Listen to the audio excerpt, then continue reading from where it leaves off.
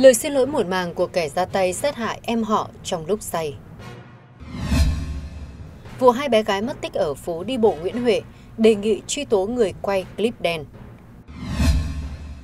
Tuyên án tử hình đoàn Thiên Long trong vụ 70 giang hồ bảo kê đất ở Phú Quốc.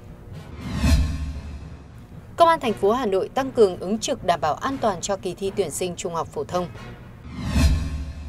Khánh thành dự án bảo tồn tu bổ lăng mộ Nghi Thiên Trương Hoàng hậu Tử Dũ. Kính chào quý vị và các bạn đang theo dõi những tin tức mới nhất trên kênh YouTube Báo Sức khỏe và Đời sống. Vừa rồi là những tin chính sẽ có trong bản tin, còn bây giờ mời quý vị cùng theo dõi phần thông tin chi tiết. Thưa quý vị, ngày 7 tháng 6 vừa qua, Tòa án Nhân dân tỉnh Nghệ An mở phiên tòa xét xử sơ thẩm hình sự Lô Xuân Triển, sinh năm 1966, trú tại xã Châu Kim, huyện Quế Phong, tỉnh Nghệ An, về hành vi sát hại người. Chỉ vì mâu thuẫn nhỏ, Triển đã dùng dao tấn công em họ tử vong. Tại phiên tòa, bị cáo nhiều lần xin lỗi gia đình bị hại vì lỗi lầm mình gây ra. Theo cáo trạng vào khoảng 12 giờ ngày 13 tháng 12 năm 2023, Triển cùng với Lô Văn Tê sinh năm 1961, em con chú với Triển, và một số người tổ chức ăn uống tại nhà Triển. Quá trình uống rượu, ông Tê đã nhờ Triển cùng hai người khác xây thêm từ nối bờ bao, nhà bếp và nhà chính, nhưng Triển không đồng ý. Việc này khiến Triển và ông Tê cãi nhau. Đến khoảng 13 giờ 30 phút, mọi người về nhà, còn Triển với một người khác ra bờ sông tắm. Tắm xong, Triển đi đến nhà ông Tê. Khi đến gần sân, Triển nghe thấy người đàn ông này chửi mắng mình nên đáp lại và nhặt điếu cày ném về phía ông Tê, nhưng không trúng. Thấy ông Tê tiếp tục buông lời chửi bới, Triển nhặt một con dao gần đó để đe dọa và sau đó đi bộ về nhà. Đến khoảng 15 giờ cùng ngày, Triển đi về nhà kể cho vợ nghe sự việc vừa xảy ra tại nhà ông Tê. Người vợ khuyên Triển sai rồi, đi vào nhà ngủ. Tuy nhiên do bực tức nên Triển vào bếp lấy hung khí, dắt ở lưng quần và một gậy gỗ đi sang nhà ông Tê. Khi Triển đi ra được một đoạn thì ông Tê cầm hung khí đang đi về hướng mình. Triển đi đến dùng gậy đánh văng hung khí trên tay ông Tê. Thấy hai người xô sát, vợ Triển chạy ra khuyên ngăn nhưng không được. Ông Tê nhặt hung khí bị rơi sượt qua vùng ngực của Triển. Lúc này Triển dùng hung khí dắt ở lưng tấn công vào tay trái và ngực của ông Tê. Hậu quả là ông Tê đi được vài bước thì gục tại chỗ. Triển bị thương được người dân đưa đi cấp cứu và đến ngày 18 tháng 2 năm 2024 ra viện. Tại phiên tòa, Triển thừa nhận hành vi phạm tội của mình, bị cáo biện minh cho hành vi là say rượu không kiềm chế được bản thân mình. Bị cáo gửi lời xin lỗi đến gia đình bị hại và xin hội đồng xét xử giảm nhẹ hình phạt cho mình. Triển tỏ ra hối hận và nhiều lần đưa tay lau nước mắt tại phiên tòa. Trước đó bị cáo đã tác động gia đình bồi thường cho gia đình bị hại theo phong tục địa phương gồm một con trâu, một con lợn, hai con chó và hai bao gạo. Phía gia đình bị hại không yêu cầu bồi thường về phần dân sự thêm, nhưng đề nghị hội đồng xét xử xét xử nghiêm minh theo quy định của pháp luật. Sau khi xem xét toàn diện vụ án, hội đồng xét xử tuyên phạt bị cáo Lô Xuân Triển 18 năm tù về tội giết người. Liên quan đến vụ việc hai bé gái mất tích ở phố đi bộ Nguyễn Huệ, mới đây, cơ quan cảnh sát điều tra công an thành phố Hồ Chí Minh vừa hoàn tất kết luận điều tra, đề nghị truy tố đối với Phạm Huỳnh Nhật Vi, 21 tuổi, ngụ tỉnh Tiền Giang về hai tội tội sử dụng người chưa đủ tuổi thành niên vào mục đích xấu xa và tội chiếm đoạt người chưa đủ tuổi thành niên. Theo kết quả điều tra xác định được, khoảng tháng 10 năm 2023, vì quen biết và có mối quan hệ tình cảm với người đàn ông tên Richard chưa rõ lai lịch trên một ứng dụng hẹn hò. Sau khi ở cùng nhau tại một khách sạn trên địa bàn quận 1 thành phố Hồ Chí Minh, thì đến ngày 3 tháng 12 năm 2023, Richard về nước. Đồng thời, Richard nhắn tin yêu cầu Vi tìm các bé gái để dụ dỗ, quay video clip đen gửi cho Richard. Đổi lại, Richard sẽ cho Vi tiền. Tối ngày 3 tháng 4, Vi đến khu vực số 161 đường Đồng Khởi, quận 1, thì gặp lại cháu NKTM sinh năm 2017 và em của M là LHTL sinh năm 2021 đang ngồi vỉa hè đến nói chuyện rồi cho hai bé 10.000 đồng. Vi chụp hình hai bé gửi cho Richard thì được Richard đồng ý nên Vi dẫn hai bé đi qua nhiều tuyến đường từ quận 1 sang quận 8, cuối cùng về căn hộ chung cư ở chung cư Sài Gòn Pier, phường 22, quận Bình Thạnh. Cơ quan điều tra xác định từ ngày 3 tháng 4 đến ngày 7 tháng 4, khi ở cùng tại chung cư trên, Vi đã quay 12 đoạn video clip đen để gửi cho Richard. Tại cơ quan công an, Vi thừa nhận toàn bộ hành vi phạm tội. Đối với Richard, cơ quan công an xác định khi vụ án xảy ra, ông này đang ở Hoa Kỳ và chỉ đạo qua Zalo để Vi thực hiện hành vi vi phạm tội, nên công an thành phố Hồ Chí Minh đã có văn bản gửi Viện Kiểm sát nhân dân tối cao yêu cầu tương trợ tư pháp với Bộ Tư pháp Hợp Trung Quốc Hoa Kỳ để sang minh, ghi lời khai, nhưng đến nay chưa có kết quả. Do đó, cơ quan cảnh sát điều tra đã tách để tiếp tục điều tra đối với người tên Richard. Trước đó vào tối ngày 3 tháng 4, chị Nguyễn Thị Chi, 27 tuổi, đang trú tại quận 7. Loan báo tin bị thất lạc hai con gái sinh năm 2017 và sinh năm 2021 tại khu vực phố đi bộ Nguyễn Huệ. Ngay sau đó, người mẹ cho biết đã nhờ sự hỗ trợ của lực lượng chức năng cũng như những quen biết gần đó cùng tìm kiếm nhưng vẫn không có tin tức gì.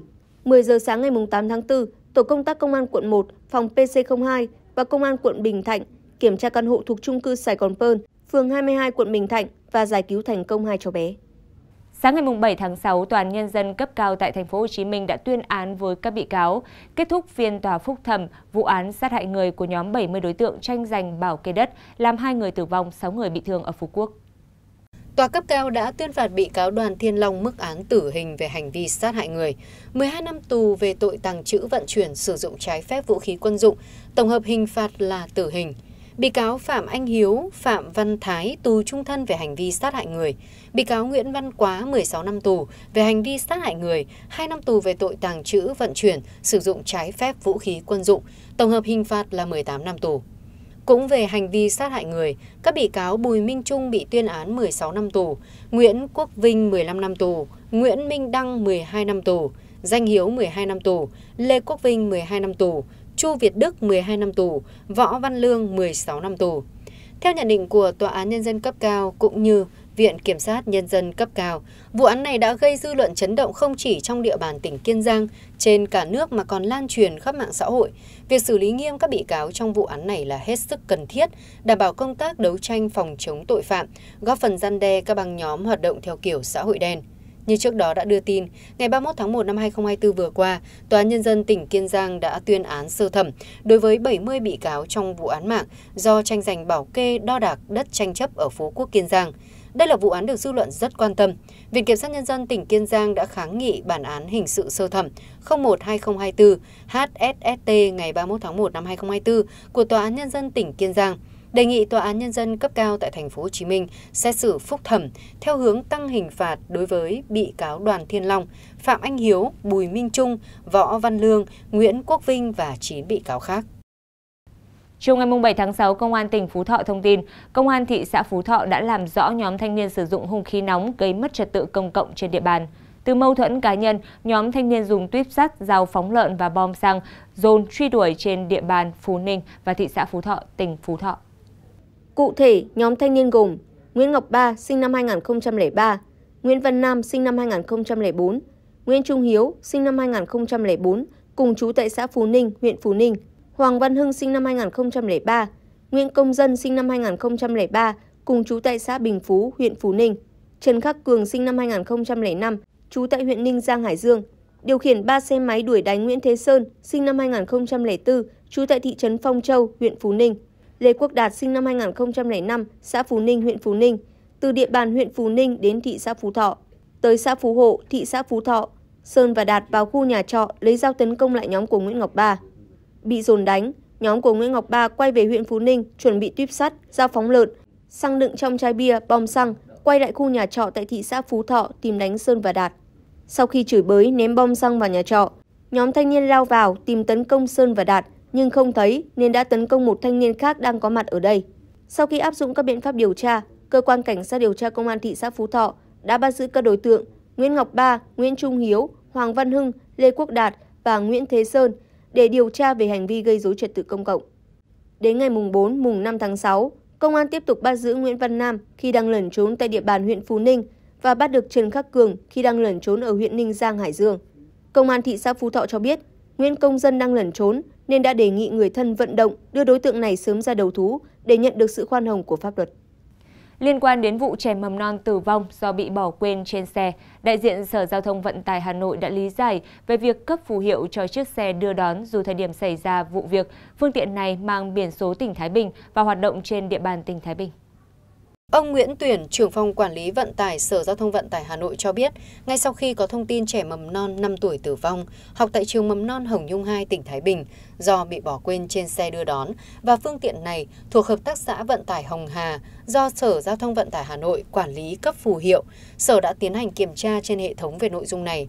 Theo đó, xe ô tô mang biển kiểm soát 17F00091 được Sở Giao thông Vận tải Hà Nội cấp phù hiệu vào cuối năm 2020. Thời điểm đó, Nghị định 10-2020 NDCP ngày 17 tháng 1 năm 2020 của Chính phủ về kinh doanh và điều kiện kinh doanh vận tải bằng xe ô tô đã có hiệu lực và quy định cấp phù hiệu được thực hiện theo nghị định này. Trả lời câu hỏi về việc Sở Giao thông Vận tải Hà Nội có được cấp phù hiệu cho xe ô tô mang biển kiểm soát của tỉnh Thái Bình không? Ông Tuyển cho biết, theo quy định tại Nghị định 10-2020 NDCP thì bất cứ đơn vị kinh doanh nào có giấy phép kinh doanh vận tải bằng xe ô tô được Sở Giao thông Vận tải Hà Nội cấp, nộp hồ sơ đúng quy định, đồng thời phương tiện đảm bảo đúng điều kiện theo quy định tại Điều 12, Điều 13 Nghị định 10-2020 NDCP đều được Sở cấp phù hiệu xe ô tô kinh doanh vận tải, không phân biệt phương tiện mang biển kiểm soát của tỉnh nào. Cạnh đó xe ô tô này là của một xã viên thuộc Hợp tác xã Vận tải Hồng Hà, đóng trên địa bàn thành phố Hà Nội, nên họ được cấp giấy phép kinh doanh vận tải trên địa bàn. Tuy nhiên theo ông Tuyển, pháp luật hiện hành quy định xe ô tô muốn cấp phù hiệu ở tỉnh thành nào thì phương tiện phải có trên 70% thời gian hoạt động ở địa phương đó.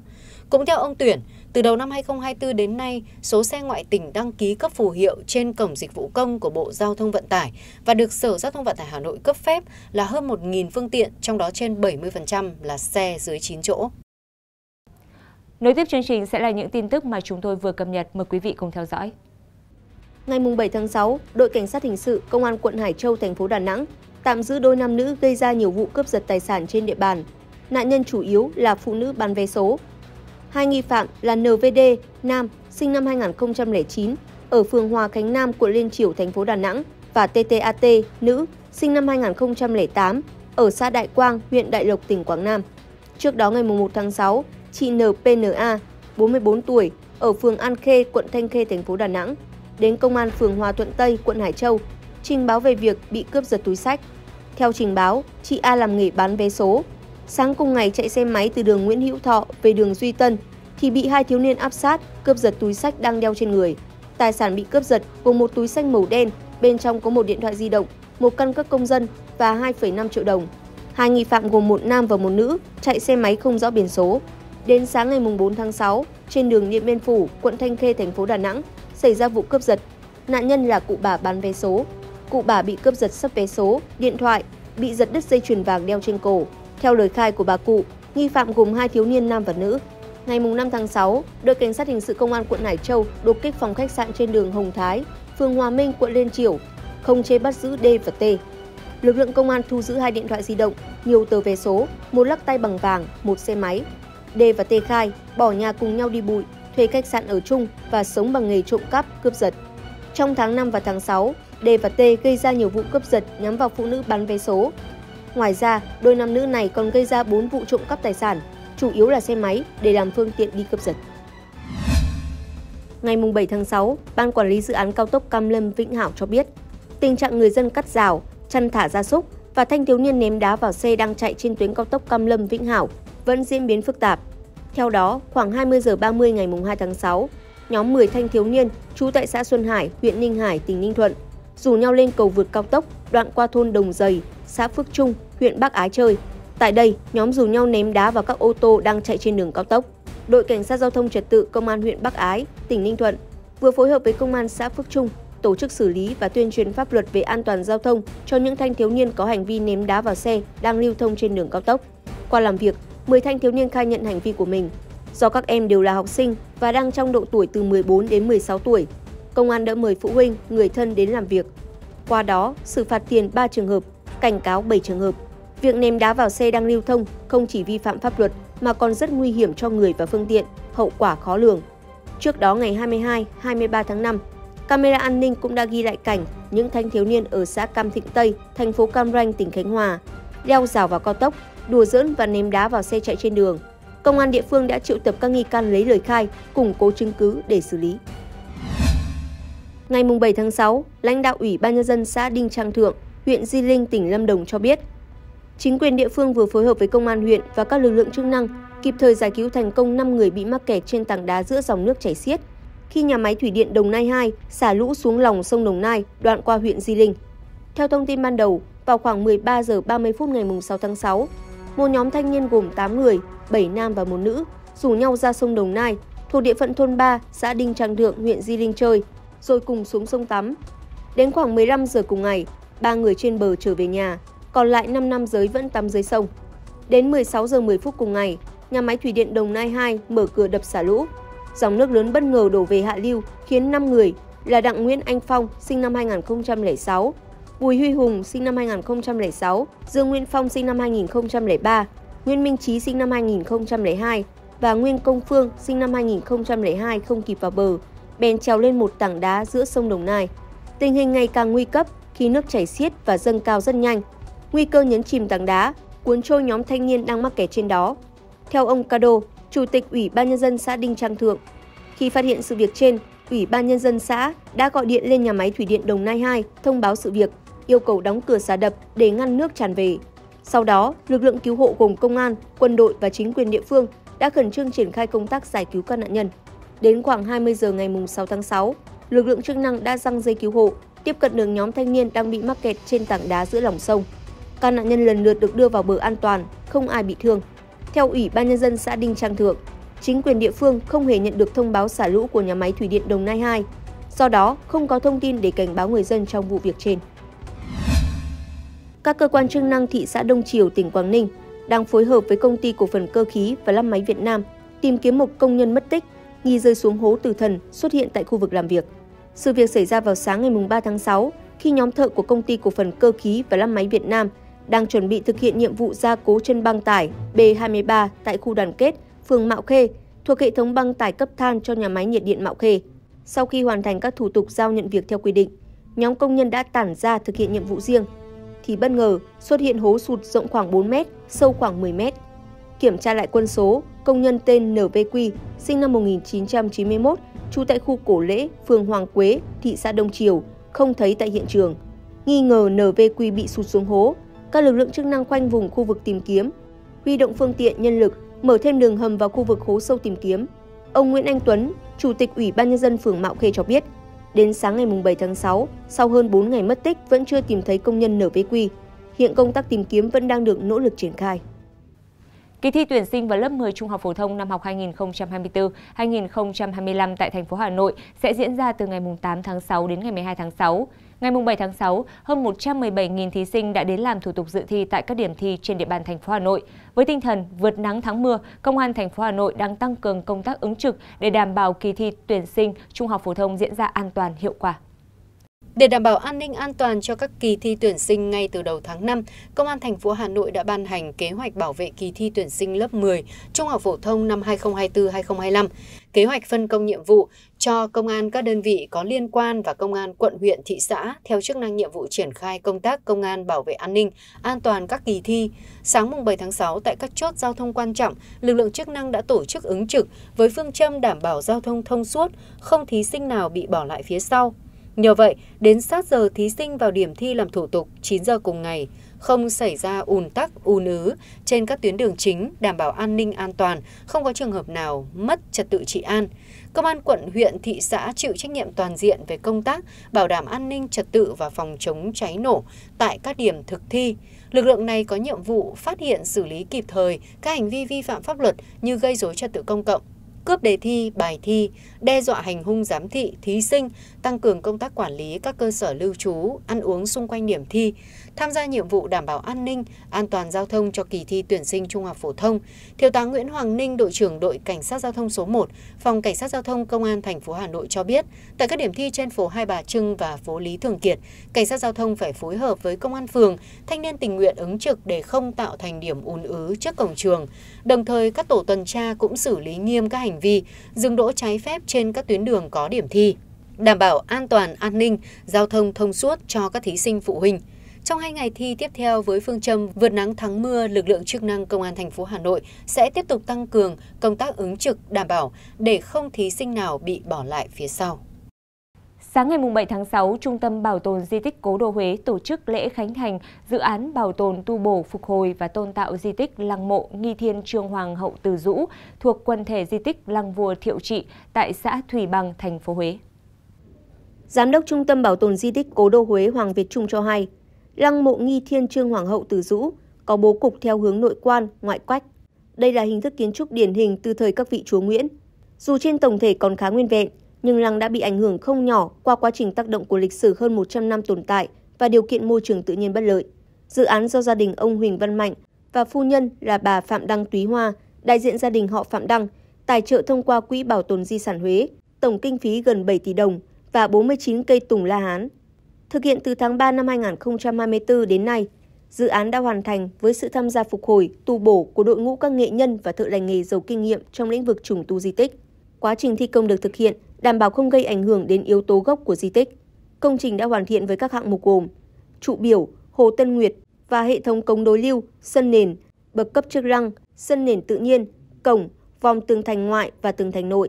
Dự án hoàn tất, góp phần trả lại vẻ đẹp vốn có của công trình lăng mộ Hoàng Thái Hậu Tử Dũ, đồng thời bảo tồn không gian cảnh quan văn hóa trong khuôn viên khu vực lăng vua Thiệu Trị, xứng đáng là tài sản văn hóa quý báu của nhân loại, được UNESCO công nhận là di sản văn hóa của nhân loại. Lăng mộ Hoàng Thái Hậu từ Dũ có tên gọi là Sương Thọ Lăng, được xây dựng vào những năm đầu thế kỷ 20, nằm trong khuôn viên lăng mộ Thiệu Trị tại xã Thủy Bằng, thành phố Huế. Hoàng Thái Hậu từ Dũ, tên húy là Phạm Thị Hằng, là trưởng nữ của lễ bộ thượng thư Đức Quốc Công Phạm Đăng Hưng. Bà vốn là quý phi của vua Thiệu Trị, mẹ ruột của vua Tự Đức. Những thông tin này cũng đã khép lại chương trình ngày hôm nay của chúng tôi. Cảm ơn quý khán giả đã quan tâm theo dõi. Nếu yêu thích chương trình, đừng quên ấn like và subscribe để ủng hộ kênh của chúng tôi. Còn bây giờ xin kính chào và hẹn gặp lại.